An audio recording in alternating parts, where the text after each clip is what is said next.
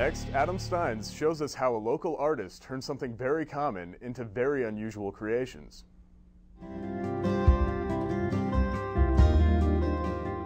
My name is Scott Blake, and I make art with barcodes. Uh, lots of stuff on the computer, and I'm, a, I'm an artist in Omaha.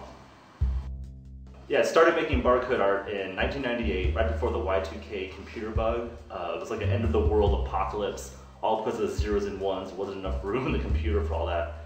And I was messing around in Photoshop with uh, halftone dots, which are just the way that like a newspaper is printed.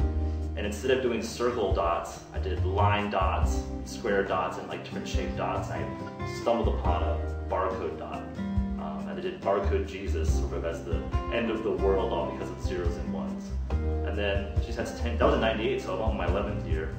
Um, I've since done like Oprah Winfrey, um, Elvis, Madonna, Marilyn Monroe, uh, Bruce Lee, and uh, a whole bunch. I think I'm up to like 35 portraits now. Scott has a different way of showing his work off. So the work that I do, I'm not really interested in work that sells, and so um, most galleries aren't interested in showing art that doesn't sell. Um, and so for me, it's important to have a space that I can work and get really weird and do whatever I want um, and have zero compromises. I mean, my only compromises now are I've got eight foot ceilings. Um, and actually upstairs I have seven and a half foot ceilings, so I'm totally, that's my main studio is upstairs.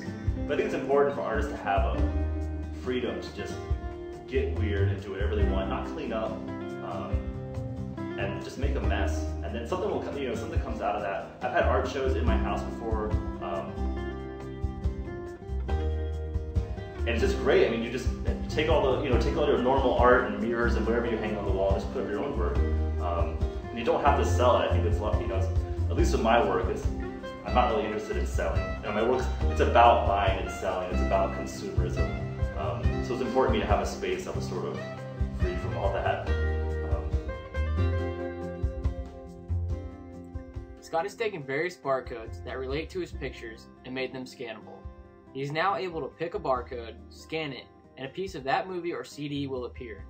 This has taken Scott many, many hours, and that he told me he stopped keeping count.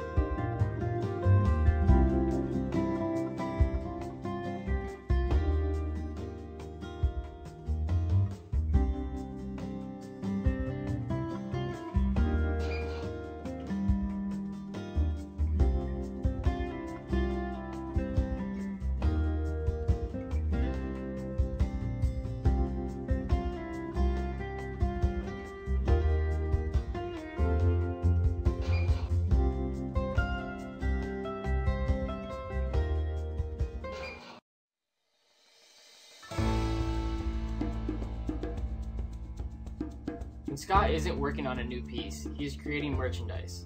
Blake has created flip books that have sold all around the world.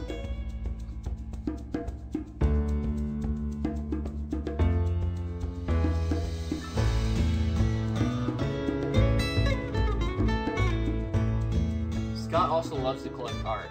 He has sent postcards with his art to thousands of people, and in return, they have sent him one.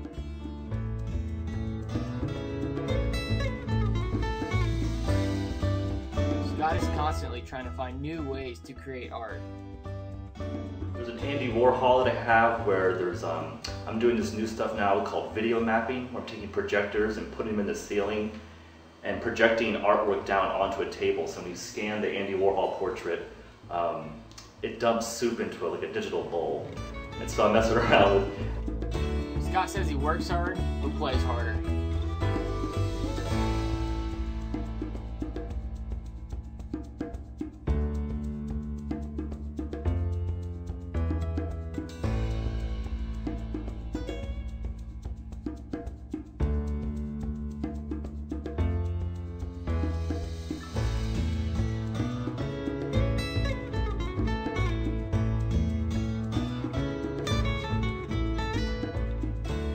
More information on Scott Blake, go to Google and search barcode art.